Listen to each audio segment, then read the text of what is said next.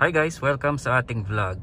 At ngayon, papakita ko sa inyo kung bakit ang Mazda 3 ay malupit sa gabi. Ito nga pala ay Mazda 3 2.0 um, na Sky Active. At simulan na natin. Unang-una kung bakit malupit to sa gabi na i-drive talaga is nakita nyo naman yung interior, 'di ba? Ang lupit. May navigation ka, ayan. At ito yung pinakamalupit dito na nagustuhan ko for night driving. Kahit naman umaga pero mas talagang ano siya, kitang-kita siya pag gabi is yung kanyang heads up display. Tingnan nyo. Ayan. Diyan nakikita mo kung gaano kabilis ang tinatakbo mo. Subukan natin tumakbo. Ayan o. Oh. ba?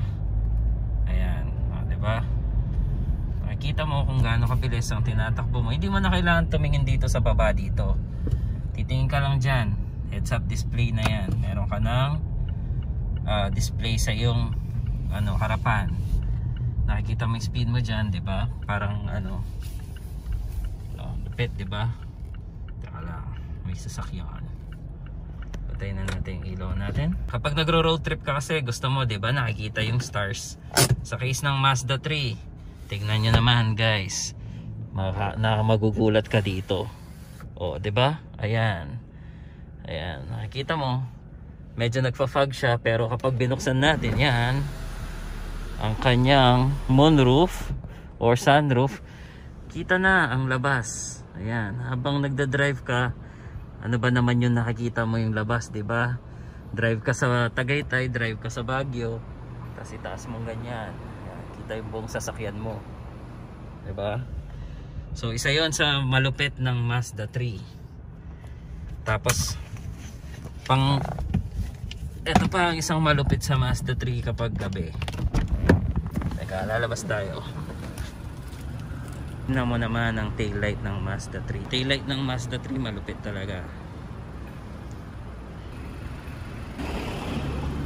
Walk around tayo. Yan widescreen natin o di ba kitang kita yung taillight napakaganda. Ito pa isa pa yung headlight niya tsaka fog light niya. Lupit to oh kita mo naman Brad.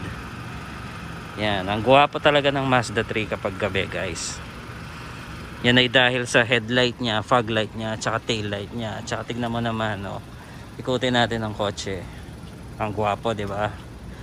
Oh isipin mo na lang ganyan yung ano dala-dala mong sasakyan. 'Di ba? Luxury na luxury ang dating.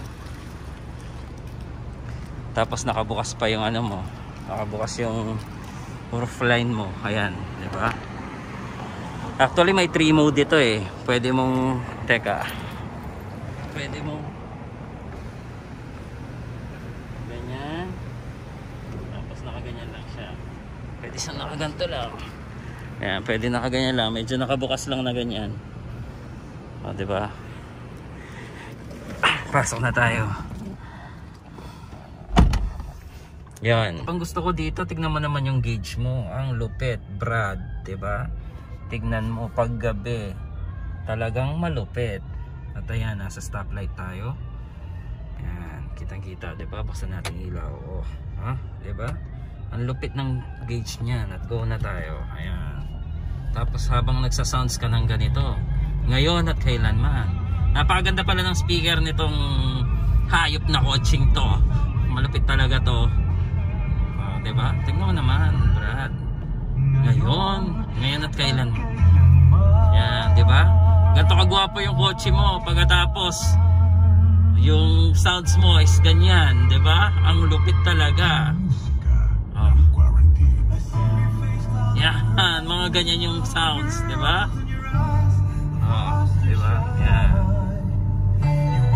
pang malupit dito is paggabi is ito. Itong mirror mo dyan. Tingnan mo. Oh, aha. Ba? Pwede ka kagad mag-makeup. Pag magli-lipstick ka. Ayan, may ilaw. Ang vanity mirror mo. Oh. Ha? Pwede. Chill talaga ang coaching to. Isa pang kalupitan ng Mazda 3 kapag gabi is walang traffic pag gabi. So, pag gabi, pwede mong iharurot yung Mazda 3 mo. di ba? Pwede mong ihururot yung Mazda 3 mo pag gabi. Well, I hope nag-enjoy kayo sa video na to. At yun ang kalupitan ng Mazda 3, yung mga ilaw niya kapag gabi, yung itsura niya kapag gabi. Yun yung malupit sa kanya. Like and subscribe na lang sa short video na to.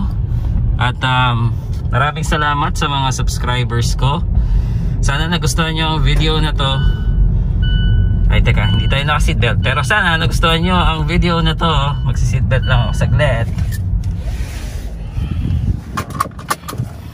Yan. Sana nagustuhan nyo ang video na to. Kung nagustuhan nyo ang video na to, like and subscribe na lang. Short video lang to. Um, salamat sa mga subscribers ko na guys. Salamat sa panonood ha. Panoorin nyo pa yung iba kong vlog sa mga sasakyan. At uh, yan. Yan yung mga feature kasi na hindi pinapakita eh.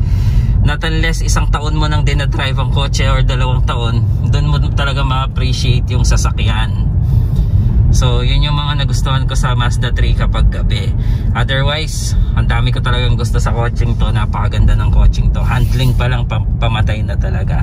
Thank you guys and you have a great day. Goodbye.